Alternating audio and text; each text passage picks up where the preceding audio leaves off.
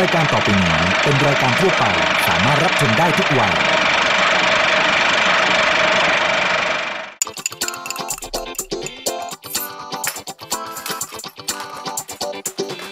กินได้ กินไม่ได้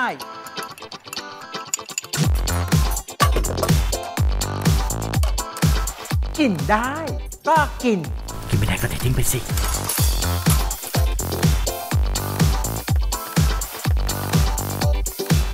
สนับสนุนโดยผลิตภัณฑ์ผลไม้ฟรุตเบรดและน้ำเชื่อมแต่งกลิ่นตรา Nature Taste สวัสดีค่ะคุณผู้ชมกลับมาพบกับนานาในรายการกินได้ก็กินทุกวันจันทร์นะคะ เวลาบ่าย3ามโมงยีทาง Workpoint หมายเลข 23 แบบนี้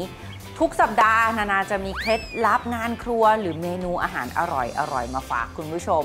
วันนี้นานาก็มีเมนูอาหารอร่อยอร่อยมาฝากคุณผู้ชมอีกเช่นเคยค่ะ ตรงหน้านานาเนี่ยวัยรุ่นหลาย ๆ คนอาจจะไม่ค่อยรู้จักแล้ว มองเสร็จปุ๊บอุ๊ยอะไรอะสีส้มๆห่อย่าง หลายคนบอกห่อหมกหรือเปล่านะ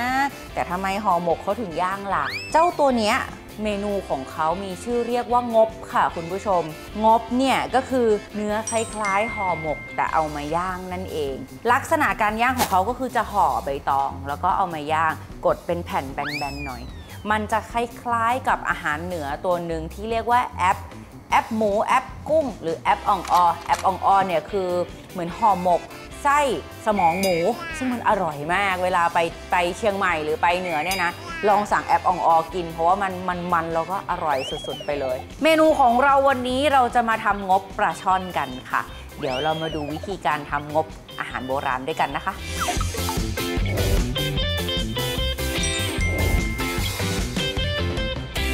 เครื่องแกงเราได้ที่ละ เดี๋ยวนานาจะใส่ปลาลงไปในนี้ แล้วก็เคล้าส่วนผสมเบาๆ จากนั้นเราจะเอามาห่อใส่ใบตองกันนะคะ เวลาใส่ระวัง มันจะมีน้ำอยู่อยู่ละใต้ภาชนะ อย่าเอาลงไปด้วยมันจะทำให้ส่วนผสมของเรายิ่งเหลวเข้าไปกันใหญ่ ได้เนื้อปลาแล้วเขาหั่นชิ้นสวยๆแบบนี้มาเคล้าเขาเพราะถ้าไปขยี้ไปคนเขาเนื้อปลาแล้วชิ้นสวยๆก็แตกหมด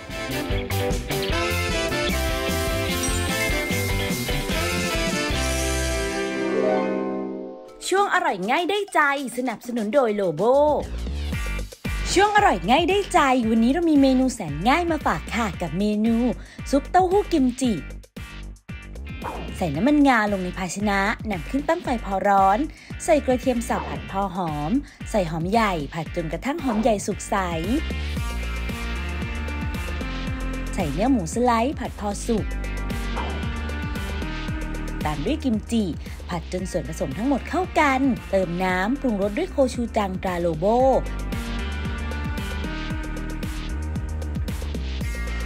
ำตาลทราย ซอสปรุงรสและพริกป่นเกาหลี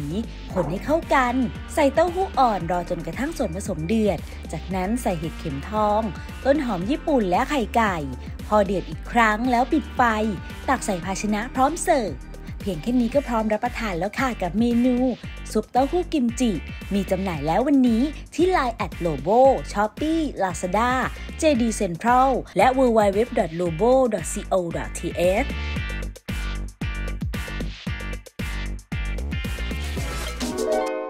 ร่อยทำง่ายได้คุณค่ากับน้ำมันพืชรามรกตวันนี้เรามีเมนู ขนมจีบคณะฮ่องกงมาฝากค่ะ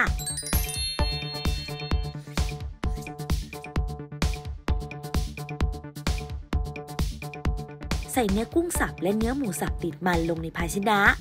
ตามด้วยเครื่องที่โกลกปรุงรสด้วยซีอิ๊วขาว น้ำตาลทราย น้ำมันงา ซอสเห็ดหอมและแป้งข้าวโพด เคล้าผสมให้เข้ากัน แล้วนำเข้าแช่เย็นประมาณ 30 นาที วางใบคะน้าฮ่องกงลวกบนภาชนะ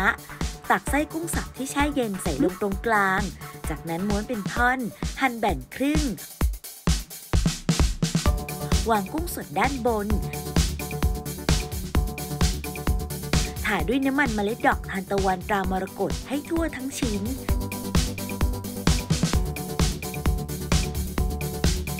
จัดลงในลังถึงนำไปนึ่งจนกระทั่งสุก จัดขนมจีบคณะฮ่องกงใส่ภาชนะ รับประทานคู่กับดิกโชว์ พร้อมเสิร์ฟค่ะ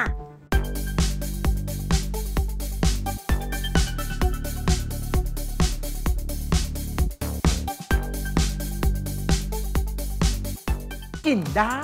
ก็กิน กินไม่ได้ก็เททิ้งไปสิ กินได้ ก็กิน กินไม่ได้ก็เททิ้งไปสิ สนับสนุนโดยโลโบผงหมักไก่สไปซี่บิ๊กวิง จากส่วนผสมตรงหน้าเนี่ย ถ้าเกิดมองแป๊บเดียวหลาย ๆ คนก็บอก อ้าวทำห่อหมกนี่นา ใช่ค่ะ มันมีส่วนผสมทั้งหมดแทบจะ 100%เหมือนกับการทำห่อหมกเลยค่ะ แตกต่างกันนิดเดียวเองคุณผู้ชม ถ้าเราทำห่อหมกเราจะเอามานึ่งใช่ไหม เราสามารถใส่กะทิได้มากค่ะ แต่ถ้าเกิดเราทำงบเนี่ยเราจะเอามาย่าง เพราะฉะนั้นกะทิที่ใช้ใช้แค่นี้เองค่ะ เวลาทำงบเนี่ยนะคะ เราก็จะใช้น้ำพริกแกงเผ็ดเจ้าที่ชอบ เจ้าไหนก็ได้ กับไข่ไก่หรือไข่เป็ดก็ได้ค่ะ ใส่ลงไปนอกจากรสชาติที่อร่อยแล้วไข่เนี่ยนะคะ ยังเป็นเหมือนกาวคอยประสาน เครื่องแกงกับเนื้อปลาของเราให้เข้ากันด้วย พยายามยีให้เครื่องแกงของเรากระจายตัว หลายคนจะบอกว่าอุ้ยงบเป็นเหมือนของว่างทานง่าย ใช่แล้วแต่ด้วยรสชาติของงบเนี่ยนะคะนานาว่าตัวรสชาติเขาค่อนข้างจัด เพราะฉะนั้นน่ะเอามารับประทานเป็นอาหารหลักได้เลยนะ กินกับข้าวจะอร่อยมาก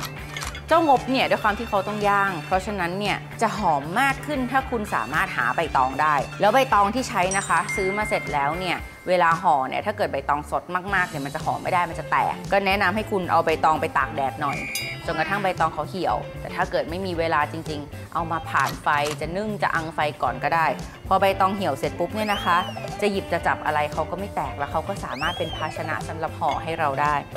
แต่ถ้าเกิดว่า โหหายากจังเลยใบตอง ไม่รู้จะไปหาที่ไหน ใช้ฟรอยล์อลูมิเนียมฟรอยล์แทนก็ได้เช่นกันค่ะ แต่กลิ่นที่ได้จะไม่หอมเหมือนใช้ใบตองนะเราได้เนื้อน้ำพริกแกงเผ็ดกับไข่เป็ดของเราจนเป็นเพสแบบนี้แล้ว หลังจากนั้นเรามาใส่ส่วนผสมอื่นกัน ด้วยความที่วันนี้เราเป็นเนื้อปลาช่อนค่ะ นานาจะใส่กระชายลงไปหน่อยนึงนะ กระชายจะเป็นตัวดับคาวปลาที่สำคัญใส่เสร็จแล้วจะทำให้งบของเรามีกลิ่นหอมหอมๆด้วย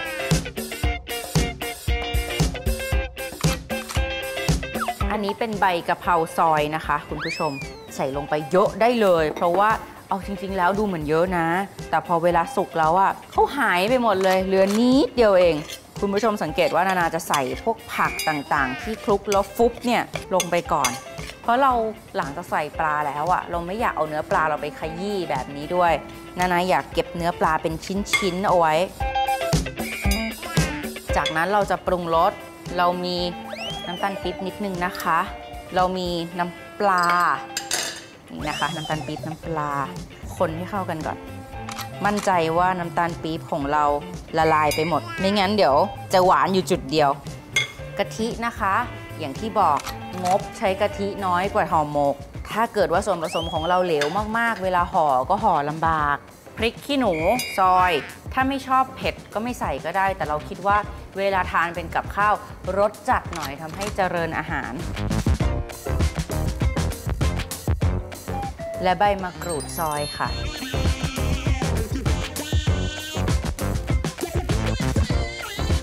เครื่องแกงเราได้ที่ละ เดี๋ยวนานาจะใส่ปลาลงไปในนี้ แล้วก็เคล้าส่วนผสมเบาๆ จากนั้นเราจะเอามาห่อใส่ใบตองกันนะคะ เวลาใส่ระวัง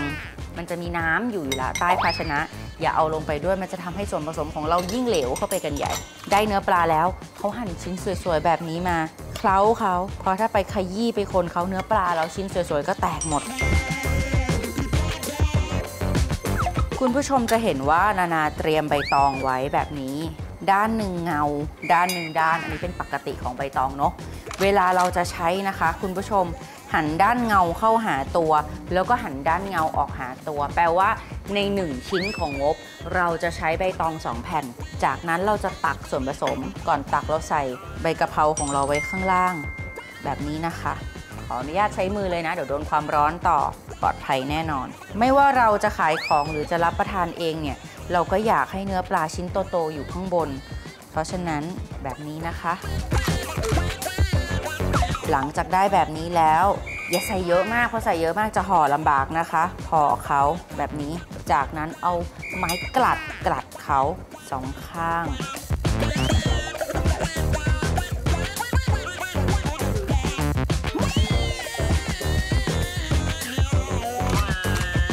จากนั้นเราจะเอางบของเรามาย่าง แน่นอนค่ะ ถ้าคุณผู้ชมไม่มีเตาอบลมร้อน คุณผู้ชมสามารถจี่ในกระทะก็ได้ แต่วันนี้นานามีเตาอบลมร้อนก็เลือกใช้อุปกรณ์ที่เรามีที่บ้านค่ะ ไม่ต้องคิดมาก เปิดไฟค่ะใช้ไฟแรง เวลาขึ้นอยู่กับความหนาของงบเราค่ะ สังเกตง่าย ๆนะคะ ดูใบตองของเราเริ่มเปลี่ยนสี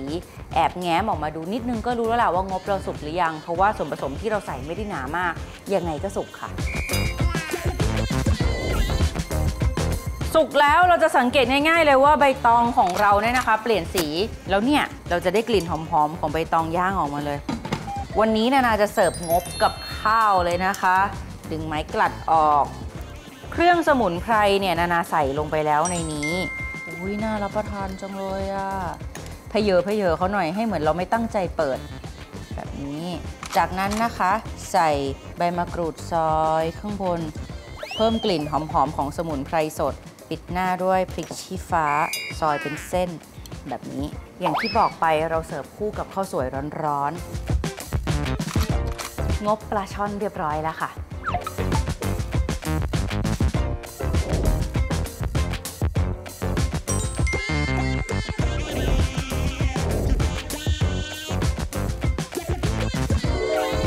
หน้านะคะ อาจารย์ยิ่งศักดิ์ยังคงมีอีกหนึ่งเมนูอร่อยๆ มาฝากคุณผู้ชม อย่าลืมติดตามชมนะ อุ้ยน้ำมันเริ่มร้อน เราทอดไปก่อนดีกว่านะคุณผู้ชมบางไม้ นี่ไปเรื่อยๆ คุณผู้ชม คอยมองไปด้วยนะคุณผู้ชมไม่ใช่มอตอร์ฮออยู่ฝั่งอันนี้ หันกลับไปทีในกระทะอุตายไหมอย่าลืมว่าเกี๊ยวอุตายแล้วจริงๆพูดแต่พูด เกี๊ยวมันสุกเร็วนะคุณผู้ชมค่ะแป๊บเดียวมันเหลืองเลยนี่ไงว้ายตายเกือบไปแล้วไม่ล่ะเออ อะไรนะ คุณผู้ชมจะชิมเลยเหรอเดี๋ยวสิน้ำจิ้มเสร็จแล้วใช่ค่ะ เดี๋ยวสุกก่อนนะคะ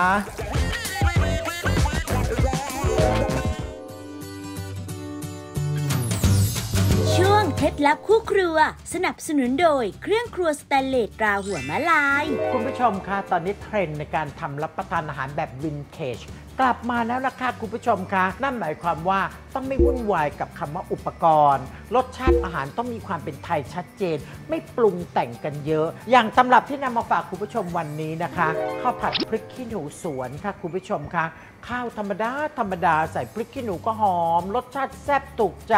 รับประทานคู่กับปลานิลทอด แล้วก็ราดน้ำปลา แค่เนี้ยก็มีความสุขแล้ว แต่อุปกรณ์สิคะคุณผู้ชมเจ้าค่ะ ไม่วุ่นวายค่ะ เพราะเดียมีกระทะใบเดียว จบเรื่องนี้ได้ทันทีเริ่มจากการทอดปลานำปลาที่เตรียมไว้ลงไปทอดในน้ำมันที่อุ่นไว้ วันนี้อาจารย์ใช้กระทะ Vitalux 3ชั้น IH ด้าม Bakelite ขนาด 24 เซนติเมตรผลิตจากสแตนเลสสตีลคุณภาพโครงสร้างพิเศษ 3 ชั้น ทนทาน ทนไฟ ทนต่อการกัดกร่อน สามารถกระจายความร้อนได้ดี ปลาที่ได้จะเหลืองกรอบทั่วทั้งตัว ไม่ต้องห่วงเรื่องติดกระทะเมื่อทอดจนได้ปลาที่เหลืองกรอบดีแล้ว เทน้ำมันจากการทอดปลาออก พักเตรียมไว้ จากนั้นเรามาทำน้ำราดกันนะคะ เริ่มจากใส่น้ำมันพืชตามด้วยน้ำปลา น้ำตาลปี๊บและน้ำเปล่า ผัดจนกระทั่งน้ำตาลปี๊บละลาย และส่วนผสมเข้ากันปิดไฟพักไว้ เคล็ดลับการทำข้าวผัดพริกขี้หนูสวน เริ่มจากใส่น้ำมันพืชลงในกระทะ พอน้ำมันร้อนก็ใส่กระเทียมสับพริกขี้หนูสวนสับยา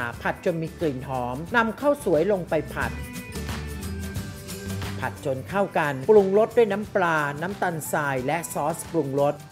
ผัดให้เข้ากัน จากนั้นก็ใส่ไข่ไก่ลงไปยีข้าวและไข่พอเข้ากัน กระทะไวทลักษ์3ชั้น IH ด้ามจับเบเกอร์ไลท์จับกระชับมือ ผัดง่าย ลดการติดกระทะ เพียงแค่นี้ก็จะได้ข้าวผัดพริกขี้หนูสวน กับปลานิลทอดน้ำปลา อร่อยหอมละมุนไปอีกหนึ่งมื้อแล้วล่ะค่ะ ระทะ Vitalux 3ชั้น IH ด้าม Bakelite ขนาด 24 เซนติเมตร ไม่มีสารเคลือบ ไม่ลอก ไม่ร่อน มั่นใจปลอดภัย ก้นแบนใช้ได้กับเตาทุกประเภท ทำความสะอาดได้ง่าย ไม่ต้องเปลืองแรงขัด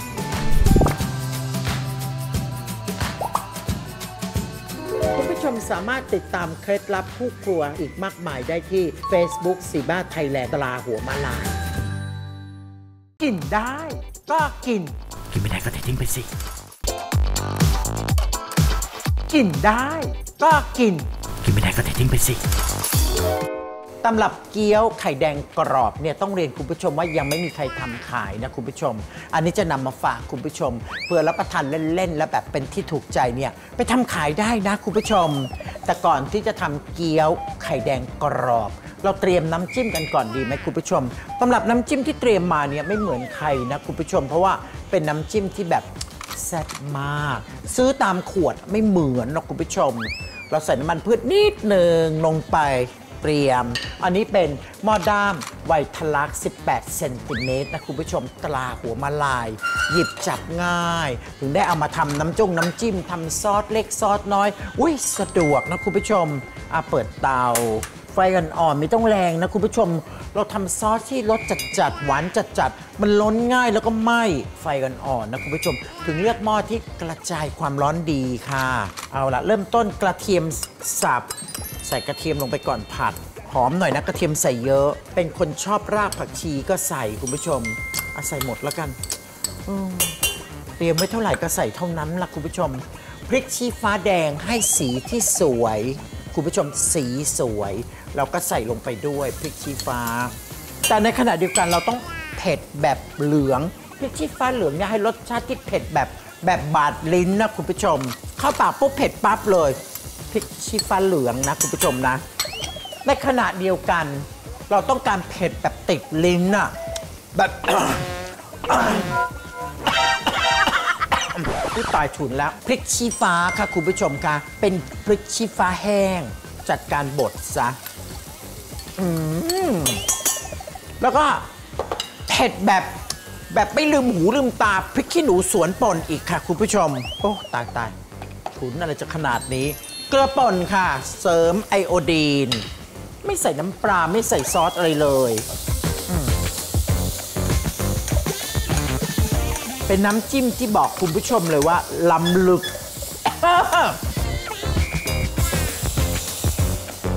ส่น้ำลงไปค่ะคุณผู้ชมพอน้ำใส่แล้วตัวไข่ตัวมันสักแป๊บนะคะ มันฉุนค่ะอืมโอ้ my god พอเคี่ยวไปสักครู่เราจะได้เค็มกับเผ็ดนะคุณผู้ชมนะ ส่วนความเปรี้ยวต้องเปรี้ยวโดดมาชัดเจนก่อนนะคุณผู้ชม เราใช้น้ำมะขามเปียกเข้มข้น Nature Taste ใส่ไปสักซองนะคุณผู้ชม บ่งบอกชัดเลยว่าวันนี้ฉันไม่ได้เปรี้ยวด้วยน้ำส้มสายชูหรืออะไร หนึ่งซองจัดการใส่ไปซะ มันชัดเจนคุณผู้ชม ส่วนความหวานคุณผู้ชมไม่ได้ใช้น้ำตาลทรายและน้ำตาลปี๊บเพราะเรามีหวานที่เรามีอยู่แล้วที่ครัวไว้ทำเครื่องดื่มมะขามฟรุตเบส preparation ตรา nature taste ทั้งหวานอมเปรี้ยว แล้วก็มีกลิ่นหอมของมะขามในเสร็จเรียบร้อยเลยคุณผู้ชม ใส่เยอะหน่อยได้คุณผู้ชม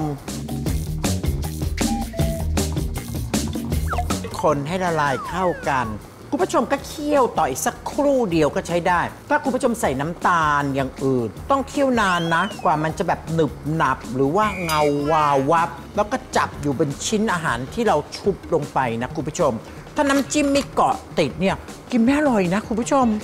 ใส่สงเจ๋งไม่ได้เรื่อง หรือจะใส่แป้งโอ้ no คุณผู้ชมเราไม่ใส่แป้งค่ะอุยตายมีความข้นกำลังดี ไม่ได้ใส่แป้งคุณผู้ชมใส่แป้งแล้วจิ้มอะไรมันจะดูแบบเมือกเมือกดูเฟกค่ะคุณผู้ชม แต่อันนี้มันดูดูเลียวค่ะ สมจริงนะคุณผู้ชม โอ้ตายแล้วชิมเยอะจัง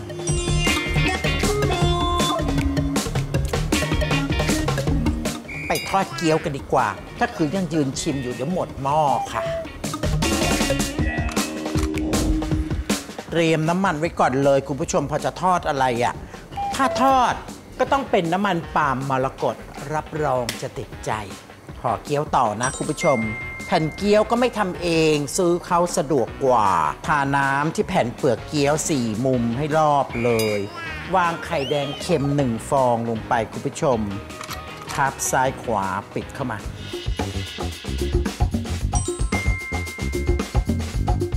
ภาพสี่มุมนะคุณผู้ชมเข้ามาแปะตรงกลางเห็นไหมแบบนี้ ไข่แดงก็จะอยู่ในนี้ใช่ไหมก็ไม้จิ้มลงไปตรงกลาง ยึดอีกทีหนึ่งได้หนึ่งลูกแล้วเพราะฉะนั้นหนึ่งคนจะรับประทานไข่แดงแค่สี่ฟองโ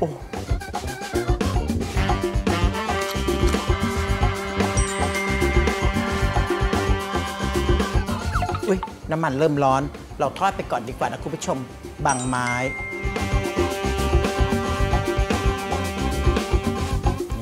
ไปเรื่อยๆ คุณผู้ชม คอยมองไปด้วยนะคุณผู้ชมไม่ใช่มอตอร์ฮออยู่ฝั่งอันนี้ หันกลับไปทีในกระทะอุตายไหมอย่าลืมว่าเกี๊ยวอุตายแล้วจริงๆพูดแต่พูด เกี๊ยวมันสุกเร็วนะคุณผู้ชมค่ะแป๊บเดียวมันเหลืองเลยนี่ไงว้ายตายเกือบไปแล้วไม่ล่ะเอออะไรนะคุณผู้ชมจะชิมเลยเหรอเดี๋ยวสิน้ำจิ้มเสร็จแล้วใช่ค่ะ เดี๋ยวสุกก่อนนะคะ เออไม้นี้กำลังสวยอุ้ยอ่อนแก่ตามวัยค่ะเห็นไหมเป๊ะเลย ทำง่ายนะคุณผู้ชมนะ เป็นเมนูที่ง่ายและชวนรับประทานมาก สุกแล้วเราก็ตักคืนไฟอ่อนๆไปเรื่อยๆนะคุณผู้ชมนะ เดี๋ยวคุณผู้ชมคงอยากดูแล้วละสิว่า เอ๊ะ ถ้าเวลาลงจานแล้วมันจะชวนรับประทานไหม ต้องบอกเลยว่ามากค่ะคุณผู้ชมปึ๊บซับน้ำมันผลไม้เดียวนะเพราะบอกแล้วหนึ่งไม้ก็ไข่แดงเค็มตั้ง4ฟอง วางแล้วน้ำจิ้ม ตำรับนี้ทำเอง หาซื้อไม่ได้แพงมาก อุ้ยควันยังโชว์อยู่เลยคุณผู้ชมคะน้ำจิ้ม โอ้โหกลิ่นมะขาม ทั้ง Food Bed Preparation และมะขามเปียกเข้มข้น เรียกว่าเป็นน้ำจิ้มแบบซุปเปอร์มะขาม เอาไปทำขายได้นะ ฉันไม่ห่วงนะคุณผู้ชมตำรับนี้ เรียบร้อยค่ะ รับรองได้คุณจบโรงเรียนดังโรงเรียนไหนหน้าโรงเรียน ไม่มีใครทำขายนอกจากที่นี่นะคะ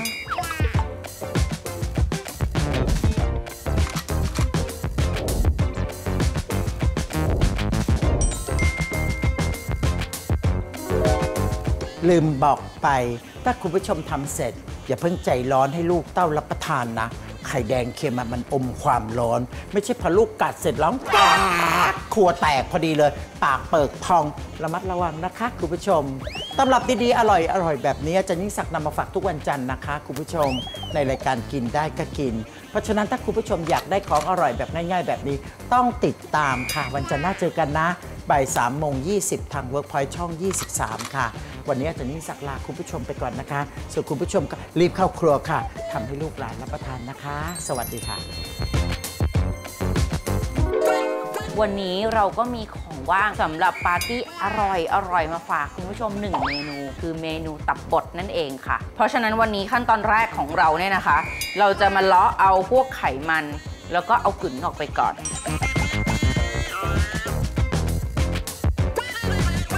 เราจะเอาตับชิ้นที่ได้เนี่ยนะคะ ใส่โถปั่นไว้รอเลย เราคงต้องเริ่มต้นด้วยการทำน้ำยำนะคุณผู้ชม เรื่องตำรับน้ำยำเนี่ยเขาหากันเหลือเกินนะคุณผู้ชมว่าทำยังไงมันถึงจะแบบประทับใจ เรียกว่าพอตักเข้าปากคำเดียวเท่านั้นอะแบบตกใจอะคุณผู้ชม น้ำยำแซ่บที่มีส่วนผสมของวาซาบิ